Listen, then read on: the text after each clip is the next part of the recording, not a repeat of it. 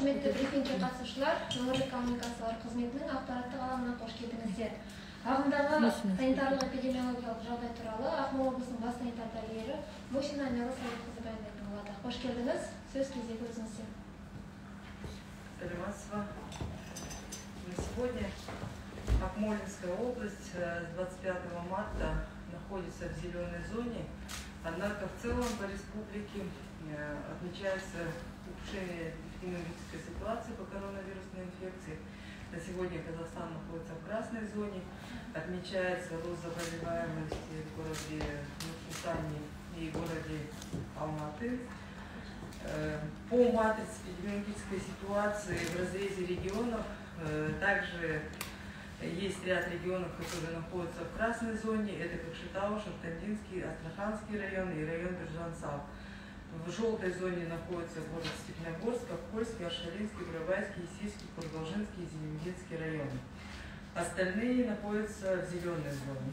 При этом а, прослеживается тенденция роста заболеваемости с начала текущего года в Апольском, Аршалинском, Целиноградском, Шортандинском районах, э, то есть при столичных районах. И э, это связано с большой миграцией населения из города Нур-Султан в данные насе- районы, так как э, часть населения работает в городе Нур-Султана, проживает э, на нашей территории и наоборот.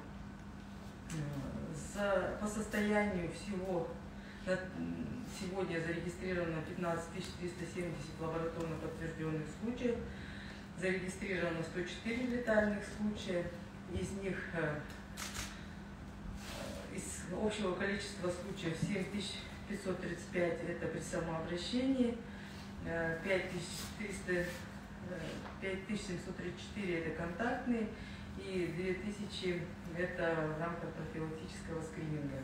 За сутки зарегистрировано 48 лабораторно подтвержденных случаев, из них 11 э, в городе Кокшетау, э, по 7 случаев в Астраханском Шортандинском районе, в Бурабайском районе 6 случаев, Несильском 5 и по 4 случая в Степногорске и Зеленогинском районе, Держан Сал 3 случая, а в Басарском 1 случай.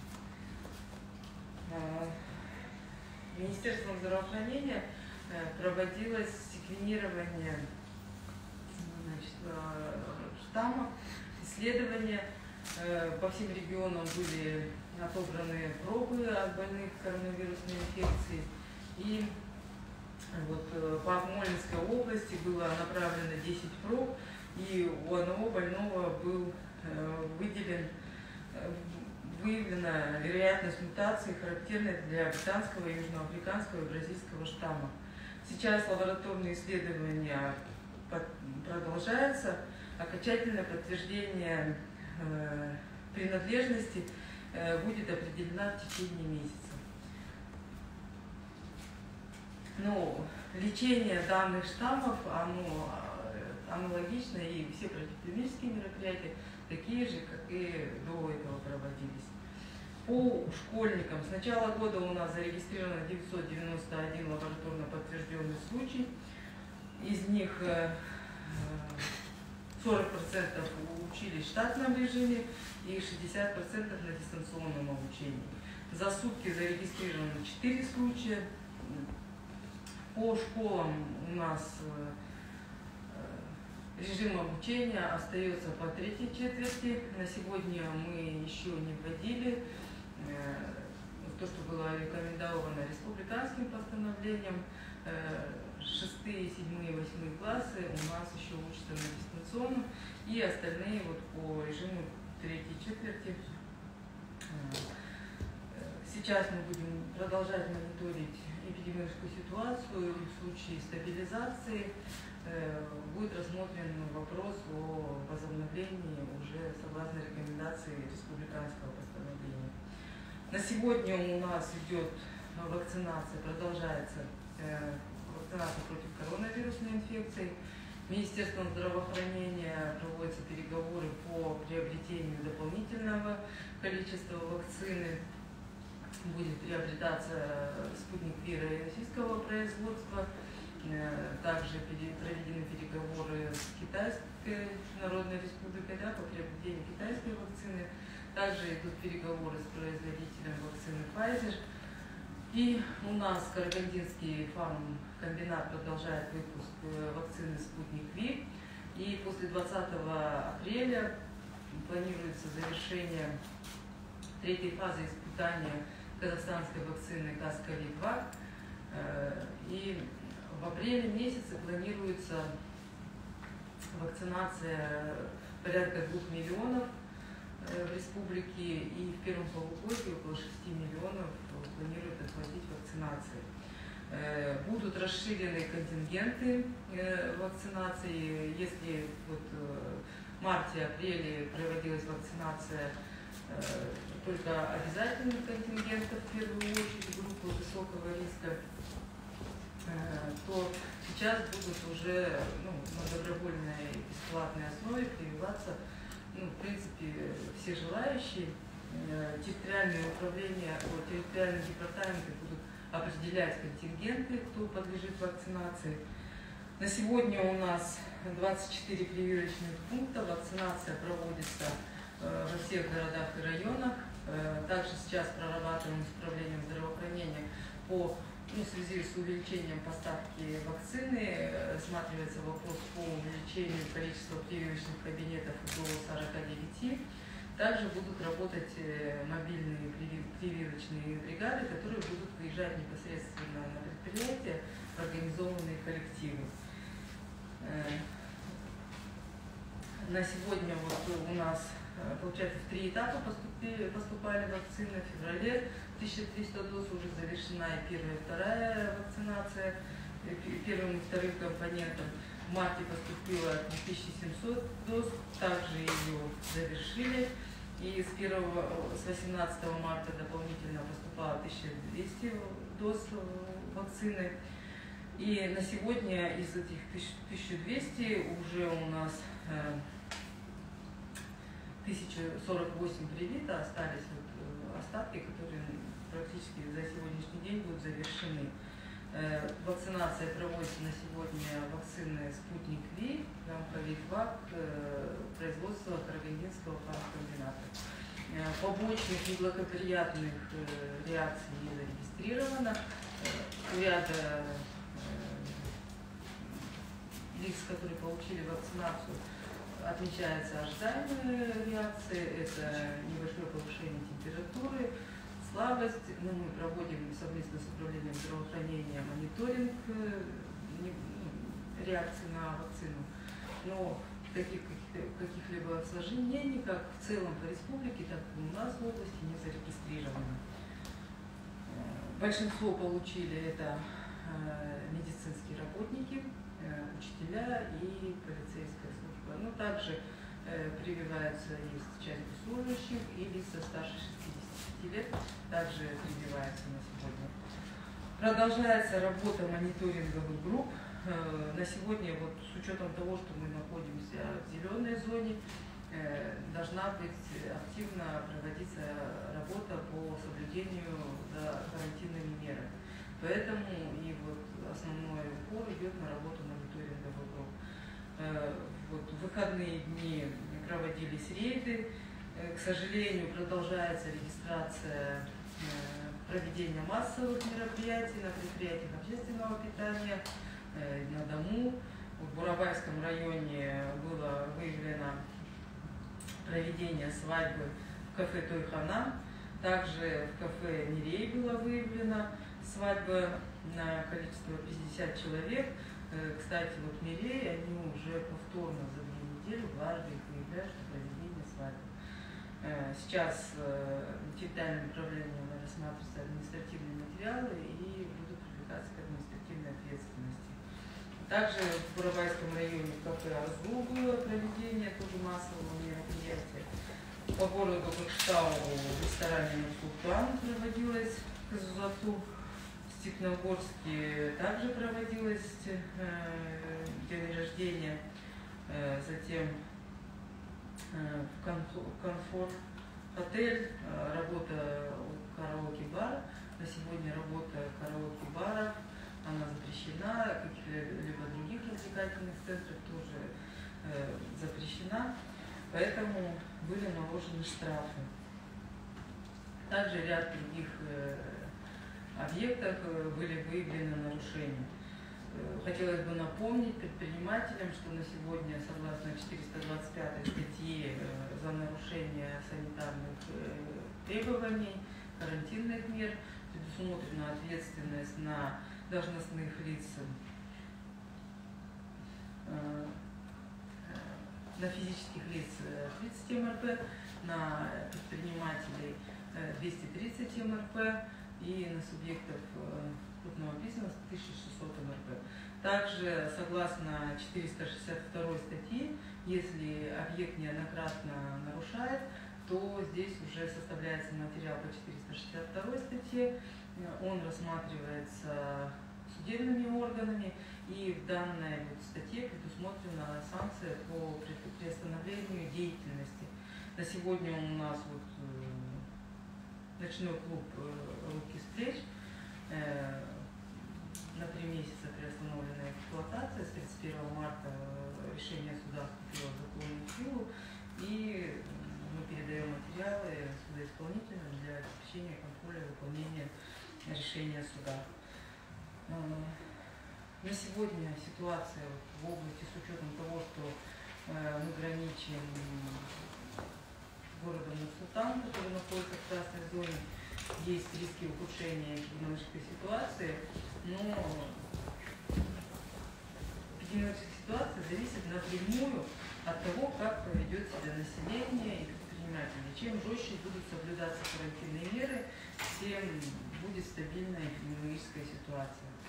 Э, поэтому необходимо строго соблюдать масочный режим, соблюдать социальную дистанцию, соблюдать правила личной гигиены, обрабатывать руки, использовать антисептик, не проводить массовые мероприятия без необходимости не посещать места массового скопления и при первых симптомах обращаться за медицинской помощью, потому что есть факты, когда занимается самолечением и уже поступает в более сложной форме, поэтому мы вот э, вот с начала недели, с учетом вот эпидемической ситуации э, в столичных регионах, э, мы выезжали именно в эти районы, проводили встречи с предпринимателями, э, с мониторинговыми группами отрабатывали.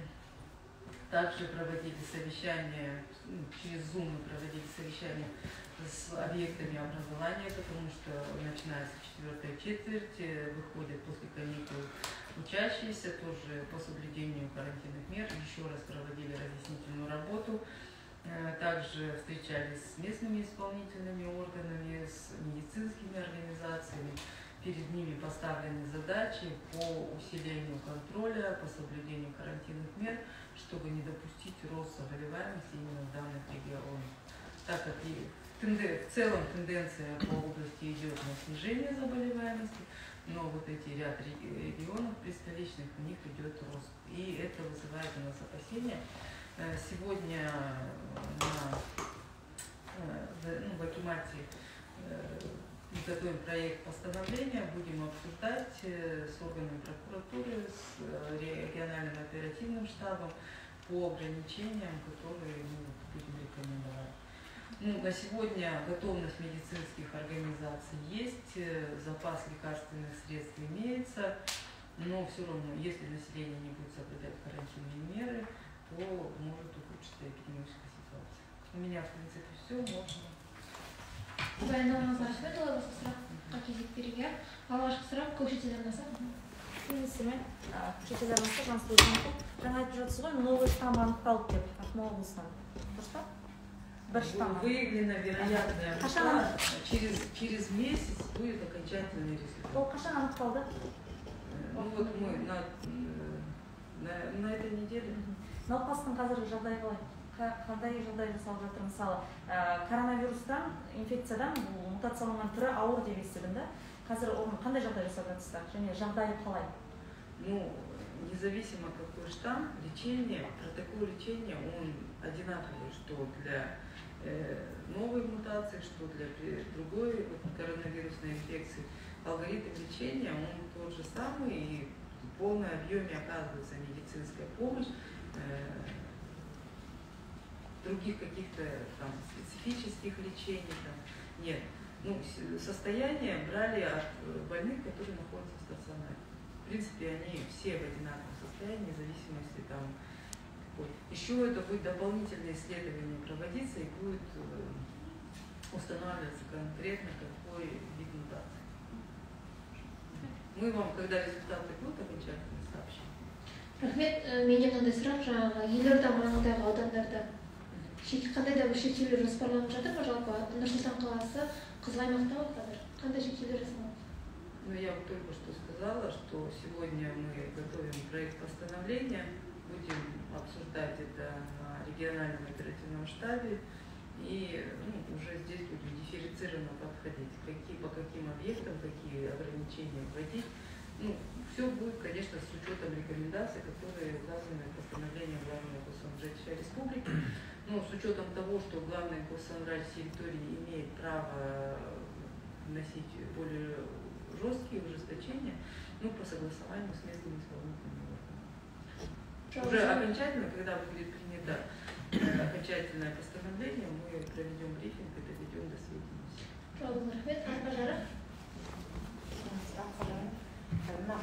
бір рет москваның қаншалықты жарамды жарамсыздығына тоқталсаңыз өйткені әлеуметтік желілерде алып сөздер айтылып жатыр видеолар көрсетіліп жатыр сол соны қаншалықты шындыққа Еще раз. Нет, официальный ответ же был от Министерства Ну, өзіңіз Минздрава. қайтадан Фейковый айтсаңыз Э, по маскам.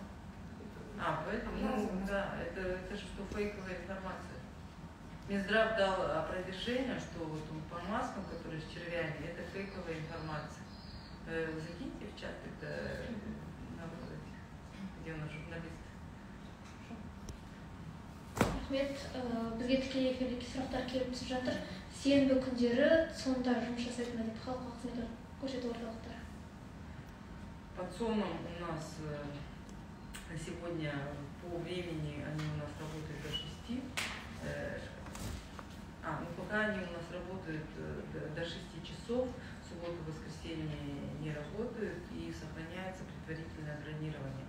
Мы пока вот то постановление, которое у нас действовало, изменения никакие не вносили, с учетом того, что вот, э, еще мы проводим мониторинг по ситуации, потому что, ну, если по матрице смотреть, то мы находимся ну, практически на границе между желтой и зеленой а с учетом вот рисков, э, то, что у нас столичная область, поэтому на сегодня мы работаем, вот, режим работы ЦОНов, как он и был, с 9 до 6, и э, выходные дни они не работают, и по предварительному бронированию. Пока режим же. рахмет еще вопросы резко Здравствуйте, Анна Гульфаидовна. А, Здесь вопрос, а есть ли информация об общем количестве уже вакцинированных в нашей области людей? Общее количество. Общее количество.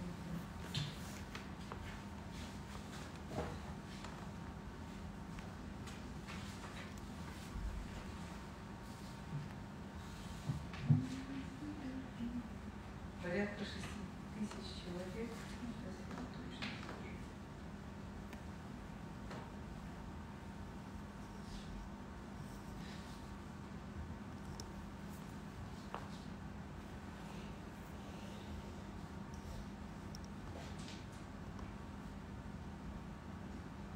А вообще KPI какой по вакцинации? 6031 человек у нас получили, 6031 человек получили первый компонент вакцины. Ну и, соответственно, через 21 день они будут получать э, второй компонент. Ну, в принципе, э, цифра первого второго компонента, она с учетом просто интервала между вакцинациями, она одинаковая. А сколько вообще планируете? Ну, вообще, до этого мы делали расчет, э, что будет 100 тысяч человек по области до конца года. Но сейчас, видите, в целом по республике, что это был расчет только на Карагандинского фармкомбината «Спутник Ви». А сейчас, с учетом того, что министерство увеличивает объем вакцинации, и, соответственно, будет увеличен объем в целом. Сегодня мы сейчас ждем разнарядку, какой объем вакцины поступит э, на нашу территорию.